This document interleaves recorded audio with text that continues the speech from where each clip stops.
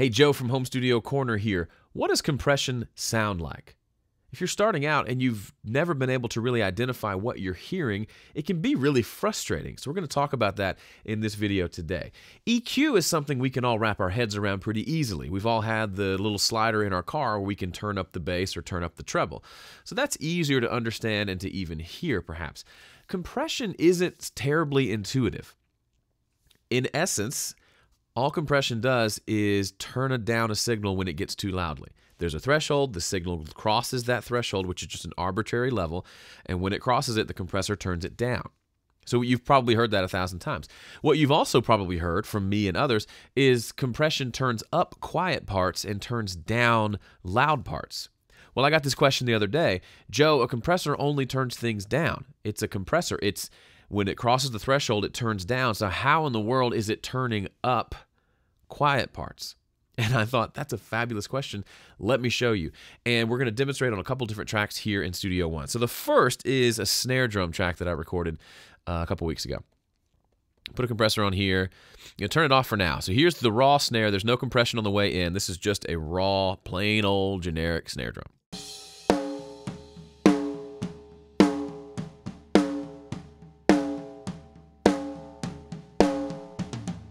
Got some nice, lovely ring to it. So I'm going to demonstrate what compression will do in terms of first turning it down, then we'll talk about how it turns up quiet parts. So let's go, let's set a compressor setting on here, something kind of aggressive. We'll go like 5 millisecond attack, 10 millisecond release, bring the threshold way down, and just let it smack it around a little bit.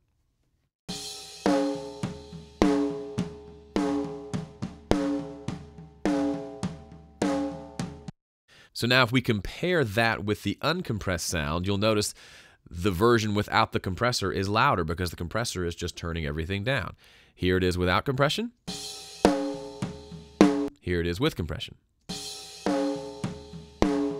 Clearly, it's way quieter, so what's the point? Well, there's this cute little knob on a compressor called the gain knob. Sometimes it's called makeup gain, which is a better description.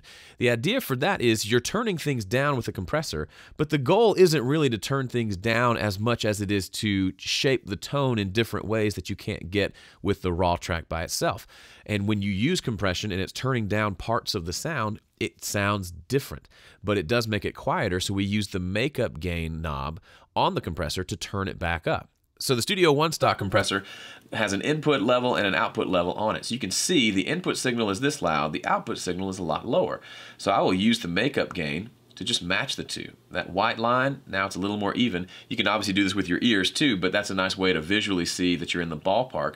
So now if we listen, you'll hear when I click the compressor on and off, it'll be at the same volume. It sounds different, but it's the same volume.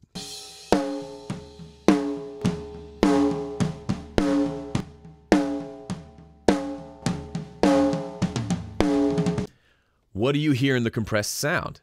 You hear the actual hit of the snare is quieter relative to everything else, but you're hearing more of the ring, the sound of the drum resonating itself, and you're also hearing more of the kick drum and the tom that he's playing and everything else in the room because all that stuff was very quiet. But now it's been turned up by about seven and a half dB.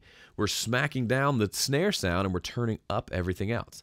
Why would you want to do that? Well, maybe we like the sound of this snare with some compression on it. It has a snappier, kind of more just rock and roll sound to it.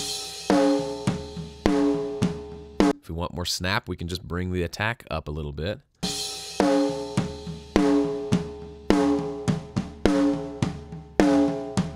So whether or not that's the sound for the mix is irrelevant. You can hear how compression is making the quiet parts louder and the louder parts quieter. Now let's do the same thing on a vocal. Here's the vocal for that verse of this song by itself, just raw recording actually with this mic, the Roswell Mini K47. I took it in stride.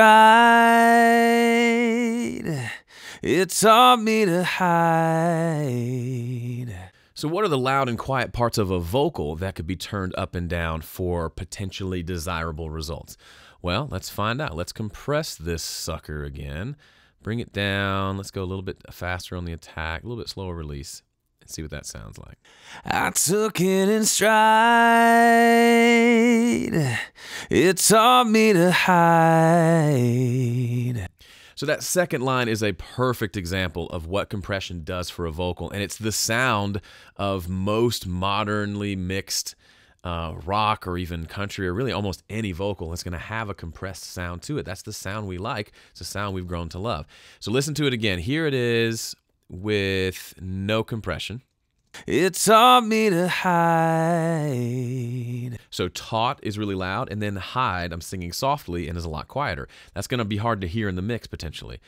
Add compression, it's all roughly the same level now. It's not a lot louder in general, but the taught me, that first part is quieter, and then hide is expanded and louder because of the makeup gain. It taught me to hide. You'll notice if you look at the compressor while that vocal is going, you'll see the compressor kicks in. Here's the gain reduction there. The compressor kicks in on the loud part and it actually doesn't do any compression on the word hide. It's just sitting there doing nothing except it's turning it up because there's an automatic well there's a there's a makeup gain engaged at all times on this track. It taught me to hide. So the first part of hide gets a little compression, the last part has none at all. It taught me to hide. Doesn't help with the pitch problems with that vocal, but that's not the point of this video. So that's it. I mean, there we could do this for hours and days to really dive in and and really go deep, but I wanted to give you a starting point so you can start using compressors on your tracks and start listening for those things, those loud parts that are quieter, those quiet parts that are louder, and start to develop a kind of mental vocabulary of what that sounds like and what compression does to the tracks. And then eventually you'll get to a point where you'll know when a track needs compression and when it doesn't. Two things I want to tell you about. I've got a course called Understanding Compression at understandingcompression.com. It's one of my most popular courses. Check that out if you really want to dive deeply into compression and really get a good handle on it.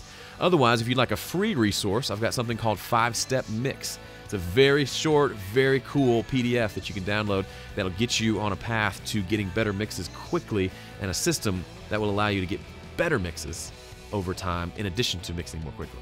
So that's it for me. Thanks so much for watching this video. I'll see you on the flip side. Bye.